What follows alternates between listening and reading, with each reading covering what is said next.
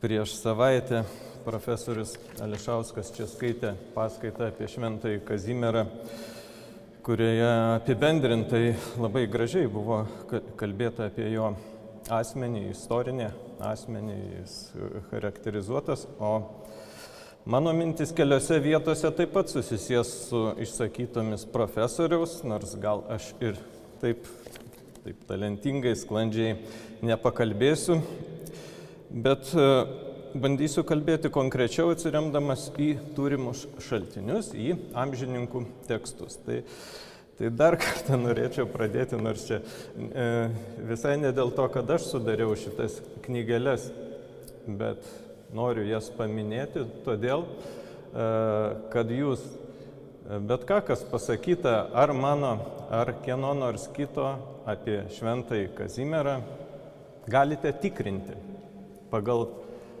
šituos tekstus, kur čia yra sukaupti.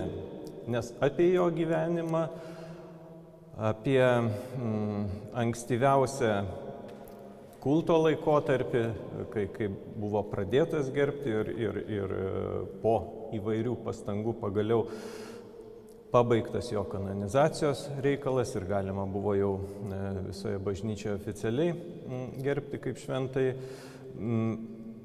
Šitie ankstyvieji dokumentai, kurie yra čia sukaupti, ypač susiję su jo gyvenimu, kol jis buvo gyvas, nelabai jau bus turbūt e, ateityje papildyti. Viskas, ką žinome apie šituos ankstyvuosius dalykus, yra čia. Tai ar kas neklysta, ar nenusišneka, galima tikrinti tiesiog pačiam, skaitant dokumentus ir tai yra įdomu. Kas norite, galite, ne, nepaminėjo muziejaus direktoriai, įsigyti čia pat šią knygą, o šiaip net galima susirasti ir internete e, paieškojus, nors ne, ne tokiu simpatišku pavydalu, todėl tikrai maloniau, maloniau skaityti knygą. E, nes aš ir rengdamas e, šitos du rinkinėlius Tiesiog savo uždaviau ir stengiausi atsakyti į universalų klausimą. O iš kur? Iš kur mes tai žinome? Iš kur mes žinome, kad Kazimieras išliko skaistus? Kas tai įrodys? Ar ne? Todėl e, ir e, iš kur žinome apie mirties aplinkybės, e, iš kur apie pirmosius jo gerbimo kaip šventojo požymius, čia turbūt Vilniuje pirmiausia, bet, bet iš kur žinome, kad Vilniuje. Tai, tai visi klausimai slypi tose pirmuosiuose raštiškuose kažkokiuose paminėjimuose.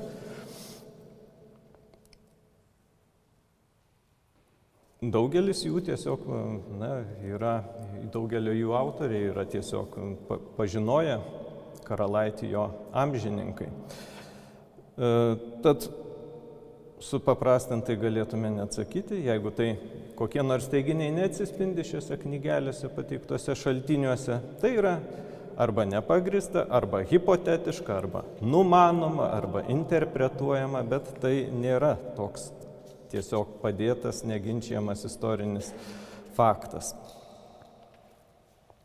E, renginys, kaip jau buvo minėta, skirtas gimimo metinėms 560-osiams ir taip pat buvo minėta ir anonsė šito, šitos paskaitos yra minima, kad e, Kazimieras gimė Krokuvoje ir visi tai žino karališkoje rezidencijoje Vavelyje ir didžioji jo gyvenimo dalis prabėgo Lenkijoje. Tad e, iš dalies mano pranešimas turėtų šiek tiek atsakyti į klausimą, kodėlgi vis dėlto Vilnius, kodėl čia Lietuvoje Vilnius tapo jo kulto centru ir kas buvo Vilnius jo gyvenime, jo kanonizacijos istorijoje, paieškoti, kiek spėsiu šitų sąsajų. Ir atrodo, mm, kad, kad visos, visko, ką galėčiau, neišsakysiu, turbūt teks kažkurioje vietoje sustoti pradėjus kalbėti apie jo gerbimo istoriją ir kan, na, tos kanonizacijos bylos istoriją jau po jo mirties. E, dabar norėčiau dar paminėti, kalba, nors kalbame apie Kazimierą, bet kito šventojo, labai visų girdėto Antano Paduviečio atveju. Portugalai yra nepatenkinti, kad, kad pasaulyje Antanas vadinamas paduviečių. E, ir, ir jie patys jį Lisaboniečių vadina pagal gimimo vietą. Tai mes iš karto galim savo užduoti klausimą, tai kaip geriau būtų Kazimerą ar Krokuviečių ar Vilniečių vadinti, ar ne? Ir, ir na, klausti savęs, kodėl, kaip, kaip tai pagrystume. Žinoma, čia yra paskutinė jo polisio vieta, jis mirė ne Vilniuje, bet pakeliui į Lenkiją, į Seimą Liubliną, Liublinę, kurio nepasiekė tiesiog pakeliui, gardinę, nu, tai grubiai sakytume, pusiaukelėje buvo priverstas sustoti dėl lygos. Ir jam dėja ten mirus turbūt buvo svarstama, kur laidoti. Na ir vėl čia nėra tas klausimas kaip nors detaliai išanalizuotas, E, kaipgi, kokie buvo ten argumentai, nes, nes šaltiniai yra gana, gana tokie lakoniški, skurdus. E, kokiais argumentais buvo remiamasi ne, nevežant toliau, pavyzdžiui, į Lenkiją, į Vavelį, o gražinant čia į Vilnių jo palaikus ir palaidojant ne kokioje nors atskiroje koplyčioje, kaip yra dabar jam skirtoji gražioji barokinė koplyčia, bet uh, švenčiausiosios mergelės Marijos koplyčioje skirtoje ne tik jam, bet ir kitiems Lietuvos valdovams. E, matyt lėmė visų pirma e, paties valdovo, karaliaus Kazimiero Jogailaičio tėvo valia. Ir čia irgi dar, dar sakau, nėra net svarstyta, kodėl vis dėlto buvo taip apsispręsta, o ne kitaip, bet akivaizdu, kad šiuo požiūriu e, Kazimieras, tėvas Kazimieras Lietuvos nenuskriaudė, nepanorėjo kaip nors e, ignoruoti ir išvežti į gimtąjį miestą savo sūnaus, antragimio sūnaus palaikų. Kaip galime taip irgi šiek tiek provokatyviai svarstyti apie, apie Kazimierą Krokuvietį, Kazimierą Vilnietį, taip galime E, svarstyti apie Dlugošo Kazimierą ir Fererio Kazimierą. Ką noriu tuo pasakyti? E, vienoje iš šitų knygelių, šitoje yra surinkti Šventojo Kazimiero gyvenamuoju metu įvairios užuominos, po to istorikų atsiliepimai, dažnai fragmentiški. Tai šioje knygoje nuosekliausias, kuris pateikia tokį daugmaž tiesiog paskaitomą įdomų pasakojimą, nors irgi tik tai kai kurių e, būsimo šventojo gyvenimo momentų, yra Dlugošas. Dlugošas, kaip minėjo ir profesorius Ališauskas praėjusią paskaitą ir šiaip žinoma, buvo turbūt svarbiausias, nesuklysime tai pasakyti, e, Kazimiero ir kitų jaunų karalaičių mokytojas. E, tiesiog tam paskirtas tėvo, gavęs šitas pareigas ir gerai jas vykdęs, nes buvo ir mylimas, ir tą išsilavinimą puikų e, savo ugdo, ugdytiniams suteikęs. Tai čia, šit, tarp šitų smulkių Švento Kazimiero gyvenimo metų šaltinių, svarbiausia yra to paties Krokuvos kanauninko, istoriko, e, didžio Lenkijos istoriko Dlugošo rašyta kronika. Joje mes matome, ji yra labai išsami, labai didelės apimties. Tai aišku nėra ir apie Lenkijos istorinius įvykius visus. E, tai šitos tik tai tarptų kitų įvykių įsiterpia, bet gana nemaži tokie e, gabalai, pasakojimai ir apie e, įvairiomis progomis apie karaliaus valdovo šeimą, taip pat ten minimas ir Kazimieras ir kadangi Lugošas buvo pats jo mokytojas, tiesioginį, taip sakant, santyki turėjęs asmuo, tai tos žinios yra mums brangios, labai patikimos. Taigi Dlugošas mums be nesvarbiausias šaltinis apie Kazimiero gyvenimą. Dabar, an, bet yra ir antras svarbus šaltinis, jis yra kitoje knygelėje. E, tai yra čia jau ne Lenkijoje, o čia į Vilnių atvykus popiežiaus mm, pasiuntinio Zacharijo Fererio e, nuncijaus specialiai sukurtas, aprašytas nuosilkliai pirmasis šventojo išpažinėjo Kazimiero gyvenimas, gyvenimo nuoseklus aprašymas, kurį ir rengia tos vat, būsimos kanonizacijos reikalų. Taigi, mm, jis yra turbūt svarbiausias. Kitas pasirodė mm, po gerų 80 metų, tik tai jau kanonizacijos proga kitas gyvenimas 1602 metais turbūt buvo parašytas Vilniaus kanauninko Grigaliaus Vencickio, o 604 išleistas. Tai turime du svarbiausius šaltinius - Dlugošą ir e, Ferreri, du autorius.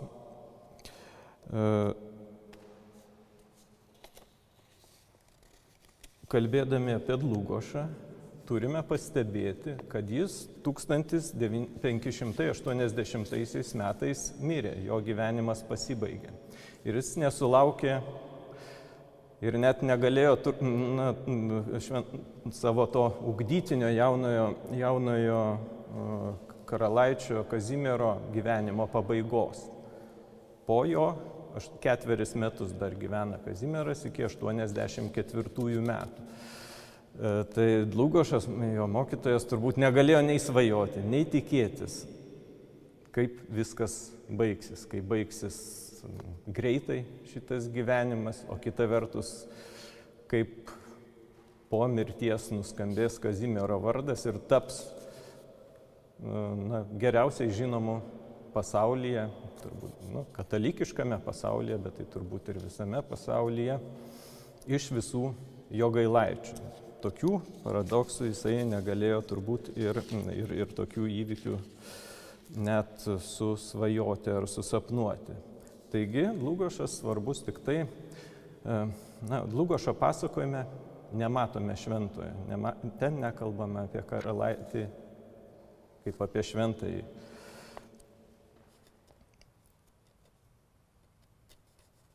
O mm, į Vilnių atvykęs popiežiaus nuncijaus Zakarijos Ferreris turėjo, tai e, atvyko daug vėliau, jau e, virš 30 metų praėjus po Kazimiero mirties, 520 metų rūdienį. Bet jis dar turėjo galimybę apklausti artimai pažinojusius Kazimierą gyvus liudininkus. Ir apie tai aiškiai pats sako.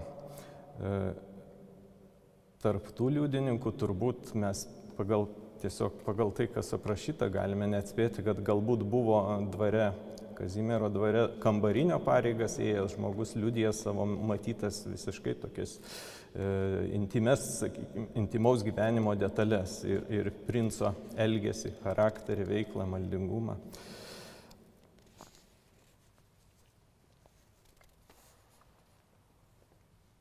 Taigi Dlukošo pasakojime e, Kazimieras iškyla tiesiog kaip jaunas, gabus mokytojų ir tėvų auklėjamas, augantis, savo gabumais atsiskleidžiantis, geras viltis žadinantis karalaitis, simpatiškiausias turbūt tarp savo brolių. Bet apie maldingumą, apie dvasinį gyvenimą, apie kurį praėjusią kartą Lišausko paskaitoje buvo nemažai kalbėta, mes, kaip mes galime jį, ką žinome ir kaip galime įsivaizduoti. E, na, ten tiesiog nėra, nėra daug duomenų, nerasime. Šitos duomenys randame Ferrerio tekste. O atskleidžia iš Vilnietiškųjų pasakojimų, nes rašė čia Vilniuje, remdamasis, netgi sakytume, ne kažkokiais laisvais atsiminimais, nes mes turime uh, dar irgi paprastai įsivaizduoti, kad, vyks, kad procesas beatifikacijos arba kanonizacijos tuo metu dar nebuvo taip aiškiai išsiskyrę ir nusistovėję, vyksta pa, praktiškai teisinis procesas. Liudininkai turi prisiekti sakyti teisybę. Tai, tai yra na, fiksuoja, fiksuoja notaras ir tu, turi būti sakoma tik tiesa. Tai nėra kažkokie laisvi pasakojimai. Ir jais juos matyt, ne tik matyt, bet ir pats sako, buvo surašęs, parengęs. Tačiau jie nebuvo išspausdinti, mes dėje, dėje žinotume daugiau, bet, bet tų, tos parengtos medžiagos, tų protokolų Zacharijo Ferrerio parengtų mes neturime.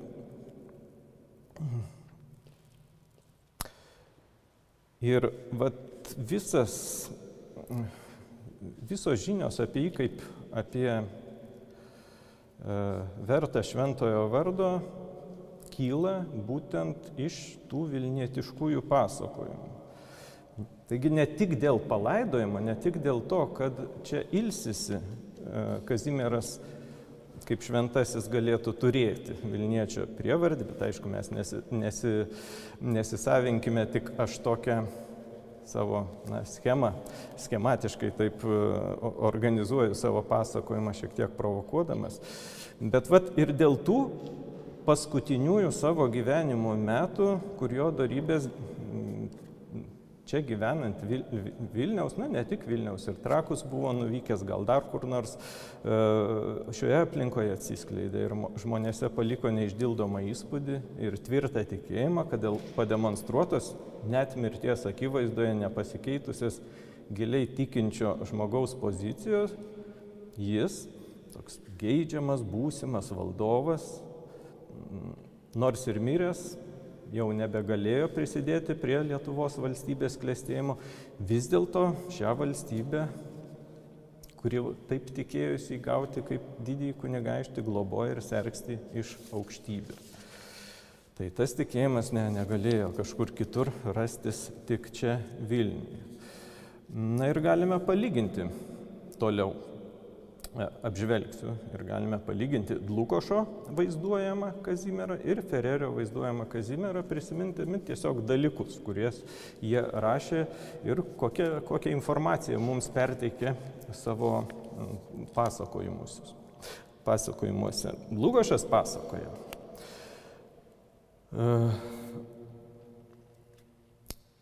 Nuo to laiko mums aktualu šiuo atveju kai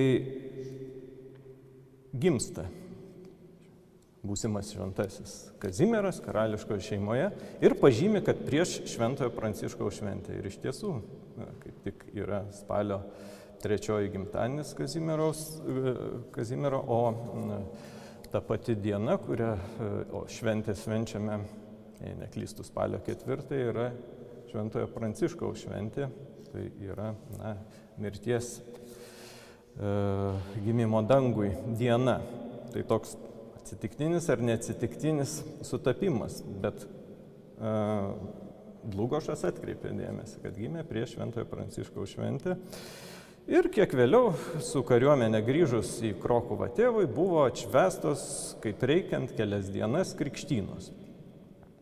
Taip pat mini, kaip jau vėliau, paugėjusi, kai iškilo Čekijos sosto reikalai, E, kaip vieną iš kandidatų į Čekijos sostą. Žinome, kad istoriškai vyriausias sūnus, pir, pirma, pirmagimis e, Vladislavas gavo tą Čekijos sostą, bet Kazimieras tose reikaluose tame kontekste irgi minimas. Mini Dlugošas taip pat kaip jis pats buvo paskirtas karaliaus sūnų mokytojų, kaip tėvas Kazimieras po medžioklių grįžęs į Krovkovą buvo pasitiktas ketvi, keturių sūnų, iš kurių iš pradžių tais metais kalbą pasako vyriausias Vladislavas, kaip kitą kartą grįžusi. Jau Kazimieras, turėdamas 11 metų, pasitinka pasakytumas gražią kalbą, na, šnekamąją e, kalbą, tai yra lenkiškai. Bet kitais metais, jau 12 metais, Kazimieras kartu su jaunesniuoju savo broliu Aleksandru pasako po lotinišką kalbą, pasitiktami popiežiaus legatą. Taigi 12 metų jau, jau sugeba viešai pasisakyti lotiniškai, pademonstruodamas, kaip ten tole, na, Dlugošo žodžiais, neregėtą mokslingumą, išsiauklėjimą, taip sakant, pagirta ir to paties legato, kuris buvo pasitiktas. O kaip, na, yra 13 metai sukanka Kazimierui. Ištinka, taip galime sakyti, žygis, tas parengtas nesėkmingai žygis į Vengriją, užimti Vengrijos sostą. Išžygiuoja iš Krokovos savo gimtadienio išvakarėse spalio antrąją dieną. Tėvo siunčiamas Bet mes galime daryti išvadą, kad ir pats buvo nebejingas, galbūt degė jauno karžygio ryštu, žygiuodamas link Vengrijos nuversti tuo metinį išrinktą karalių Motiejų Huniadį, kurį ir jo savo oficialiame tame laiške, tokiame skelbiančiame karą, praktiškai kaltino tironiškų valdymų ir tuo, kad savo valdų negina nuo turkų. Tai mm, atsiminkime, kad karuose su turkais tikras dėdė, Vladislavas Varnietis, tikras uh, mūsų šventojo Kazimiero dėdė, žuvo. Tai tokių uh, paskatų ir, ir, ir, ir ugnelės tokios galėjo tikrai būti šiame žygyje. Tada gana detaliai, gana ilgas tekstas skirtas aprašomas ir šitas žygis pasibaigęs nesėkmė ir po to, kaip tėvo nurodymą turėjo apsistoti Dobčycų pilaitėje, pilyje, iš kur tik tai kitų metų, 72 metų 19 dieną grįžta į Krokuvą. Ten atvykus popiežiaus legatui raginančiam su Vengrija sutaryti taiką, pasako dar kartą lotynišką kalbą, jau gindamas savo pretenzijas, nesisakydamas savo pretenzijų į Vengrijos sostą. Na ir po šito Vengrijos epizodo eina beveik trejų metų tarpas, kur daugmaž tylu yra apie Šventąjį Kazimierą, jis nesirodo viešajame gyvenime. E, nes mokosi toliau, grįžta į tą būrelį brolių, kartu su broliais mokosi toliau ir Dlugošas tame dalyvauja. Ir kada vėl išvystame jį viešumoje. Tada, kai su tėvu pirmą kartą, nu, išvystame Dlugošo pasakojime, kai jisai pirmą kartą patenka į Lietuvą. Atkeliauja kartu su tėvu. E, paimtas jau iš Lugošo mokyklos ir nuo šiol, nuo šiol mokslus eis praktinius valstybės valdymo mokslus prie tėvo šono. Ir jis atkeliauja į tą Lietuvą, apie kurią girdėjo iš tėvo, iš mokytojo, iš kitų dvariškių pasakojimų ir švenčia pirmasis Velykas Vilniuje, Lietuvoje. E, taigi, Pirmą kartą 16, 16 metis tik tai pamato Lietuvą. E, savo e, na, protėvių, galime sakyti, kraštą. Ir toliau, vėlesnėme jo gyvenime, iki pat paigos, jeigu užmestume akį į, beveik kasmet matome kartu su jaunesniu broliu Albertu lydinti tėvą, keliaujantį keliaujant ir Lenkijoje, į Marienburgą, į Radomą, į Petrakavo Seimą, į Šventojo kryžiaus vienuolyną ir kitur. O mums svarbu, kad beveik kasmet, išskyrus porą metų nuo 1581, kai pasiliko praktiškai kaip tėvo valdovo vietininkas Lenkijoje, jis vis buvoja Lietuvoje. Pavyzdžiui, 1580 metais gavienę praleidžia trakuose, o Velykas jau švenčia Vilniuje. Ir čia nutrūksta. Čia 80 metais nutrūksta Dlugošo pasakojimas, kuriame matome tiesiog vat, jauno būsimojo valdovo karjeros pradžią, prabėgusią būnant ir mokantis, e, kaip minėjau, valstybės reikalų, e, išminties valdymo ir, ir kitų viešųjų dalykų prie tėvo šono. Tiek Dlugošas. Dabar pereikime prie Fererio perdodamų žinių. Tai jų yra, na, saliginai, saliginai tik tai daugiau, nes e, štai mm, gal prieš eidamas prie Fererio dar, kada na, mums tas istorinis Kazimieras būtų apčiopiamas, pademonstruosiu porą retesnių, turbūt nematytų vaizdų. Tai yra ant spaudai.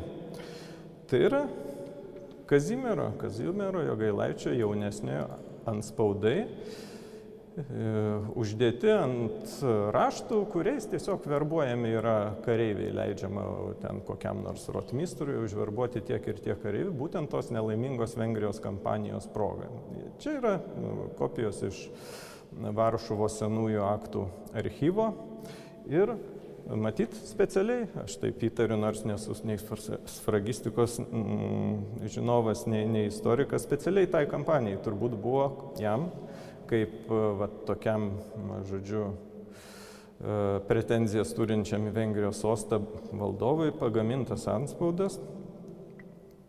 Įrašo iš tiek bent jau aš negaliu įskaityti ir neradau, kad būtų įskaityta, bet galim matyti, iš, ko, iš kokių herbų komponuotas, nors ir nutrupėjęs, nu, bet nu, čia paimkime šitą, kur nuimta libdė, matosi raudonas vaškas, čia yra erelis, Lenkijos, čia yra juostos, juostos Habsburgų herbas.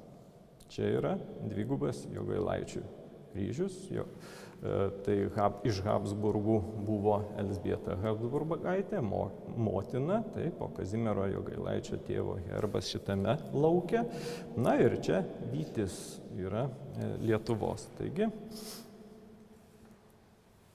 paliktas toks visiškai materialus įdomus pėtsakas. Čia ir daugiau tų raštų yra, bet čia nenuimtos libdės, taip pat matosi. Vat Habsburgų juostos čia gana ryškiai E, taip atrodo tie raštai, kurie buvo jaunojo to karalaičio pretenduojančio Vengrijos sostą vardu duodami. O dabar štai turime knygelę, kurios tas pirmasis titulinis puslapis taip ir atrodo, parašyta Zacharijo Fererio. Nėra didelio formato knygelė, dar truputį mažesnė negu šita, kvarto tas formatas e, vadinasi, Ir tokių puslapių ten toje knygelėje, čia yra perrašytas pavadinimas, jeigu kam e, patogiau skaityti lotiniškas tos knygos. Tai toje ta knygelė yra e, virš 40 e, puslapių, nedidutė, bet Kazimiero tas gyvenimo aprašymas, bent jau tai, kas tas tekstas, kuris taip vadinasi, užima mm, tik tai 20 puslapių, o jeigu imtume griežtai, kiek skirta Kazimiero gyvenimoje aprašyti, tai tik tai 7 puslapiai. Tai yra visiškai mm, nedaug. Bet pažiūrėkime, kas rašoma tuose septyniuose puslapiuose. Aišku, iš pradžių perdodamas e, e, žinios apie na, privalomos žinios turbūt apie garbingą kilmę iš jo gailos, paminimas ir Vytautas, apie šeimą, apie valdovais tapusius brolius, apie vaikystės mokslus, taip gana apibendrintai, atsiskleidusius gabumus ir perinama gana greitai, tame vos ne pirmame puslapyje, prie, kur skirta, kuris skirtas e, gyvenimo aprašymui, prie jauno amžiaus apibūdinimo. Bet kas tas jaunas amžius? Tai turbūt prie paskutiniųjų kelių gyvenimo metų. Ir Fereris pabrėžia pavyzdingą skaistumą, dorumą, santūrumą, pateikdamas supriešinimą, kad nors gyveno karalių rūmose, tačiau nevilkėjo švelniais drabužiais, o vilkėjo pas, paslėptą šutinę. Paskatas nusidėti tramdė dažnai mėgodamas ant žemės.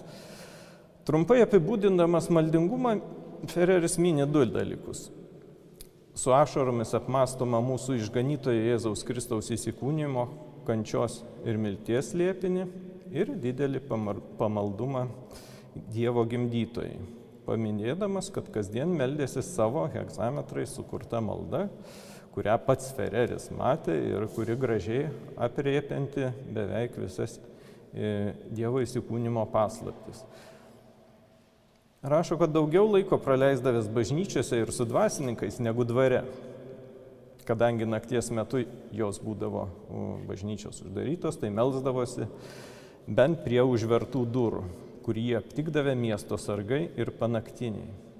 Na tai tikrai tik Vilnietiška realija gali būti. Tai vyko čia Vilniuje ir vat yra tas šaltinis, iš kur paskui eina tas gana gerai žinomas ir vaizdas, ir, ir toks motyvas prie uždarytų durų besimeldžiančio karalaičio. Tai tarsi mums patvirtina, kad ir kitos greta pateiktos Fererio charakteristikos kilia iš liudininkų matyto princo gyvenimo Vilniuje. Pamaldose karalaitis dalyvaudavo taip uoliai pamaldžiai įsigilinęs, kad atrodė visai užmiršęs save patį ir visiškai apgoptas Dievo meilės. Taip praleisdavo ir valgio, ir polsio laiką, tėvai vargiai jį galėjo prisikviesti pietauti.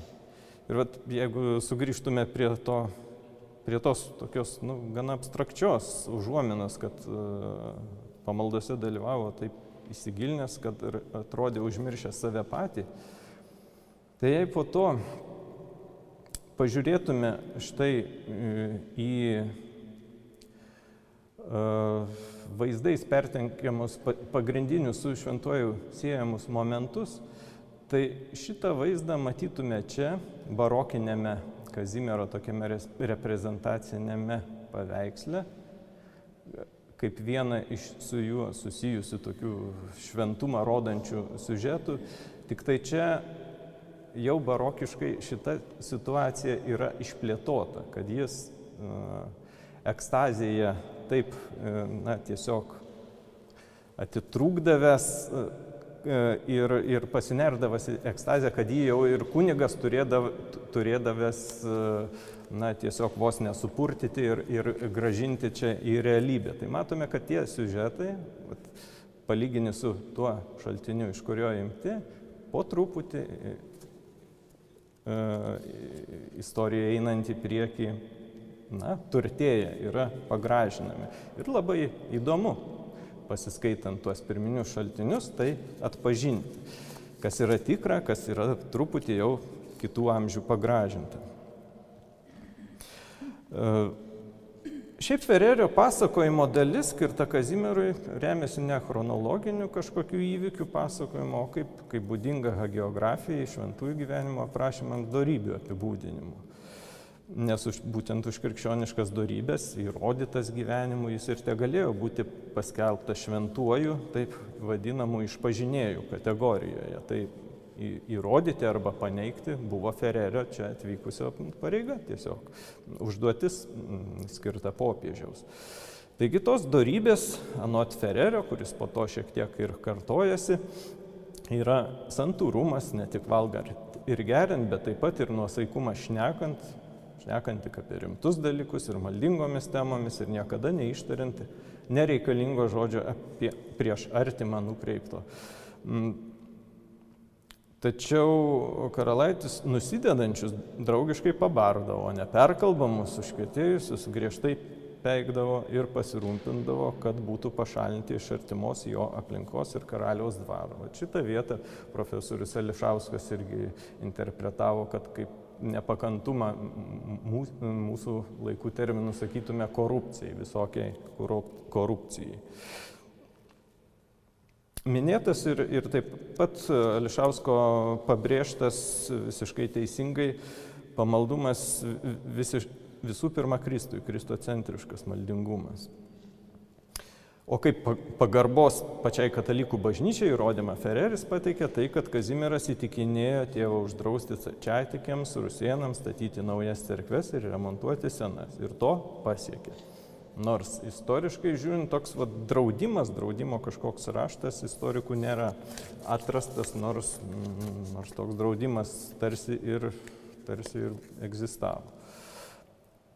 Vaizduoja Kazimierą tramdantį ir kaip apaštalas. Iš didžiosios raidės tai reiškia paštalas Paulius visiškai sutramdžiusi savo kūną, visiškai įsižadėjusi kūniškų geidulių.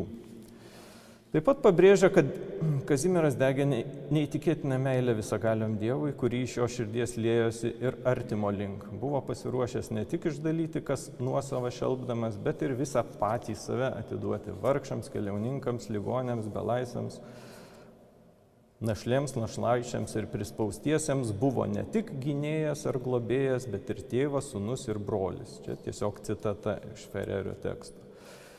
Neįprasta šiek tiek tai skaityti apie aukštakilmį karališkosios šeimos narį, jeigu darome prielaidą, kad tai yra tiesa, kad tai iš tiesų taip elgesi, o turbūt taip. E, bet tai rodė, na tai ne, neišgalvojo Ferreris, tai rodė tiesiog pasakojime jam perduodami pavyzdžiai iš jo gyvenimo. Iš gyvenimo turbūt to, kuris va, paskutiniųjų metų prabėgusių Vilniuje buvo geriausiai atsimenamas. Teisindamasis dėl e, savo pasakojimo glaustumo, Ferreris taip, pat, taip ir sako, kad per, peržvelgti tik tai, ką patyrėme, čia jau cituoju, iš ilgos kalbos įžymių ir visiškai patikimų žmonių, kurie ilgą laiką nuolatos su juo gyveno. Štai mums vėl yra tiesiog toksai e, labai tiesus pasakymas, kad, kad kad buvo dar Ferrerio laikais tų, kurie pažinojo, asmeniškai pažinojo Kazimirą ir jisai su jais bendravo, iš jų sėmėsi žinių. Mm, na ir pamini po to savo parengtą stebuklų sąrašą Ferreris, tai reiškia mm, stebuklų vykstančių prie, prie kapo palaidoma vietoje katedroje sąrašą, tai reiškia toks irgi jo buvo parengtas.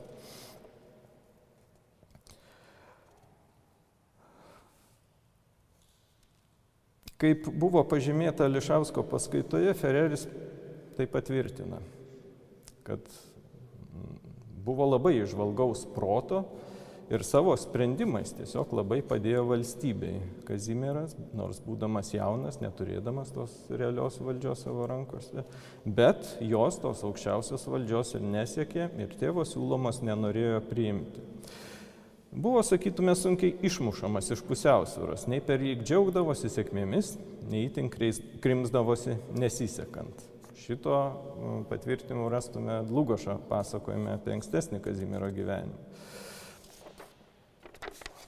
Ir toliau atskirai ir išsamei, mm, ir išsameu negu ką kitą Ferreris paliudė mm, skaistumą Kazimiero kad skaistus gyveno iki pat pabaigos ir skaistus pasitiko paskutinę savo dieną. Čia irgi citata, nepaliekanti jokių abejonių.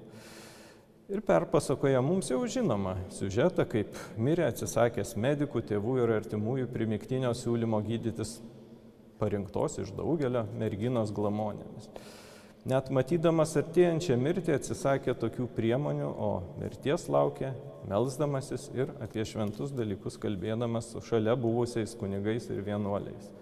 Irgi tiesiog galim įsivaizduoti, kad visą tai Ferreriui pasakojo, na, tose scenose, toje mirties scenoje dalyvauja kažkokie vienas ar, ar keli mm, karaliaus aplinkos žmonės, kunigai tie patys, galbūt vienuoliai. Tiksliai Ferrerio yra nurodyta mirties vieta, data ir palaidojimo vieta, kaip žinome, ne kokioje atskiroje koplyčioje, o, o Dievo motinos koplyčioje, tuometinėje e, gotikinėje katedroje. E,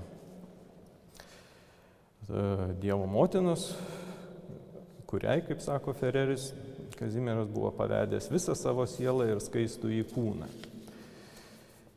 Ir mm, tokia būtina e, dalis, kad, kad kažkoks žmogus mirtingasis būtų kanonizuotas yra stebuklai. Tai Ferreris domėjosi jais, jų tikrai netruko, jais, todėl jis ir atvyko, kad, kad dėl tų stebuklų garso nebuvo galima ignoruoti ir, ir, ir vienaip ar kitaip tas, ta žinia pasiekė net popiežių. Tai kalba ir apie stebuklus Ferreris.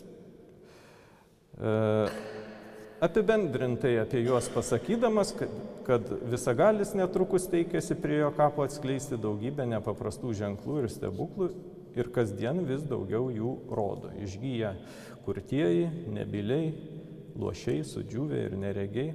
Tačiau Juos surašė atskiruose matyt raštuose, kurie nebuvo išspausdinti, mes neturime šitų, šitų jo surašytų sur, surinktų stebuklų liūdėjimų.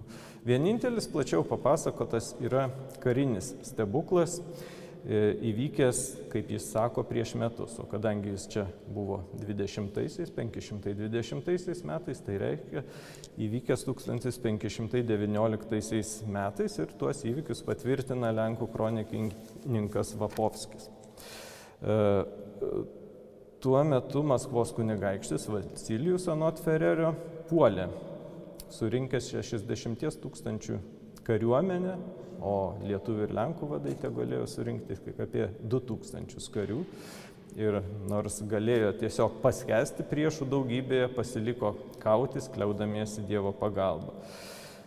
E,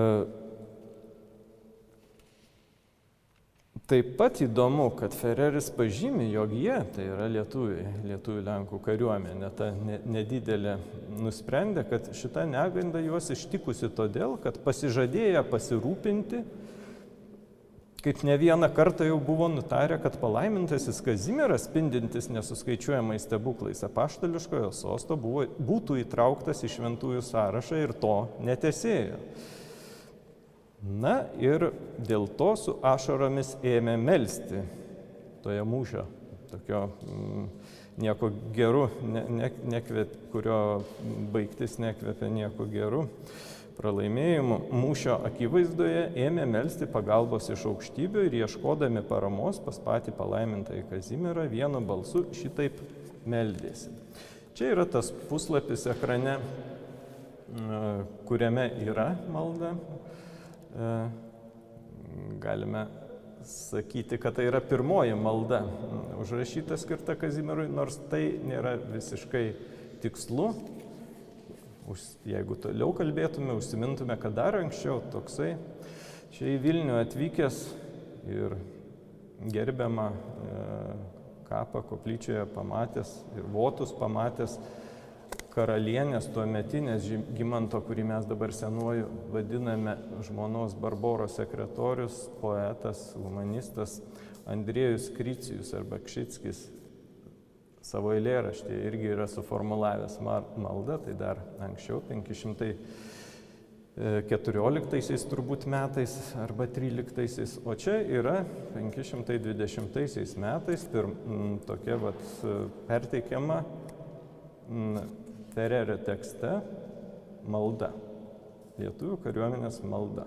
Gal, ga, uh, kitame kitoje skaidrėje yra jos tekstas, kol aš kalbėsiu, jos neskaitysiu, galite mm, prisiminti, kaip jis skamba. Ir štai pasimeldė į jį, kaip į na, valstybės gynėją Kazimierą meldžiamasi.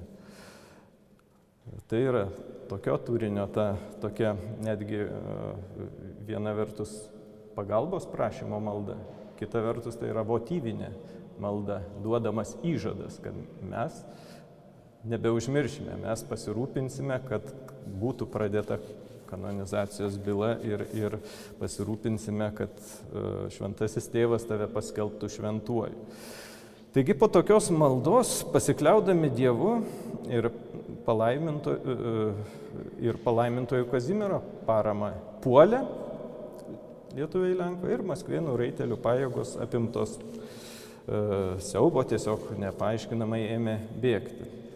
O šios malonės sujaudinti Lietuvos vadai ir ponai atkakliai meldė šviesiausiai Lenkijos karalių Žygimantą, dar tebe gyvenantį tikrą palaimintojo Kazimiero jauniausiai broli, kuris tuo metu buvo valdžioje, mm,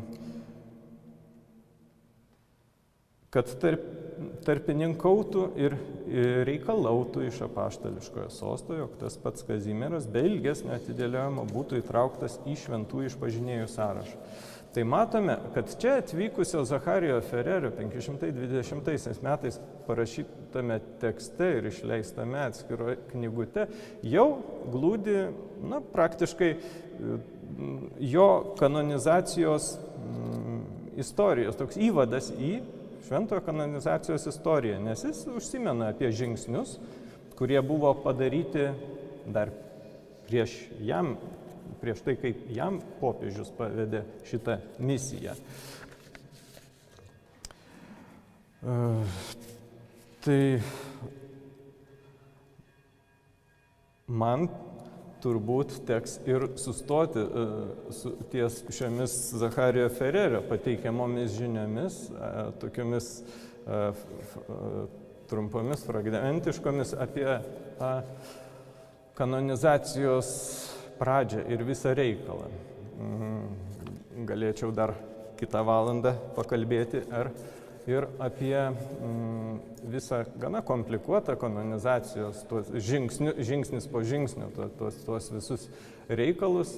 Bet dabar gal užsiminsiu tik anonsuodamas vienu kitu žodžiu, galbūt dar kada nors bus proga toms viešoms paskaitoms, kad ten toj kanonizacijos istorijoje, visoje ypač pradžioje, yra labai įdomių sutapimų, yra labai įdomių dalykų. E, kaip minėjau, šita malda, tarsi laikoma pirmąją maldą, vis dėlto yra ne pirmoji, nes čia suplūdo visas dvaras ir, ir, ir e, pats e, jauniausias Kazimiero brolis, kurį mes vadiname Žygimantų senuoju, čia atvyko į Vilnių 1514 metais karo su Maskva reikalu.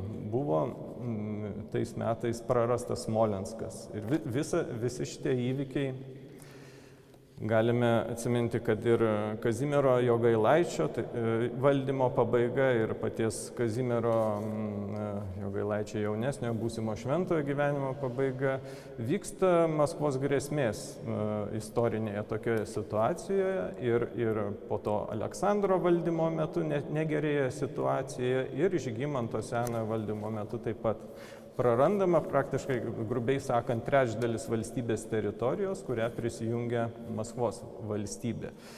Ir mm, 514 metais, pavyzdžiui, jau, jau ne pirmas karas vyksta, bet visų įkarščių vyksta karas su Maskva.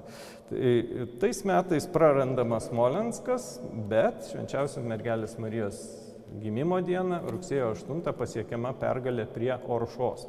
Ir vat labai, čia tiesiog irgi anonsuodamas, nuo ko galima būtų pradėti tolesnį pasakojimą, labai įdomu, kad pirmos užuominos, ne tik užuominos, bet pirmieji konkretų žingsniai e, dėl Šventojo Kazimiero kanonizacijos žingsniai, kuriuos Fereris va čia mini ir šitoje maldoje tarsi lietuvių lūpomis minima, kad, kad jie nu, buvo primiršti ir buvo paskui apleistas tas reikalas, tai yra 514 metų e, žingsniai, vėliau 517 metų. Tai yra dar prieš Fererį žingsniai. 14 metais Kartu su pergalės prie Oršos žinia pasiuntinys iš Vilniaus, Laurina, e, Vilniaus kapitulos kanauninkas Laurinas Menzilieckis siunčiamas pas šventąjį tėvą į Romą, bet ne tik iškilmingai pranešti čia džiugę pergalės žinę, pergalės prie Oršos, bet e,